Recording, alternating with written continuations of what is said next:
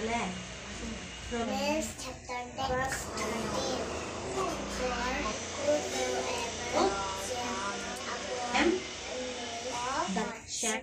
the chapter, verse. Ah, siapa?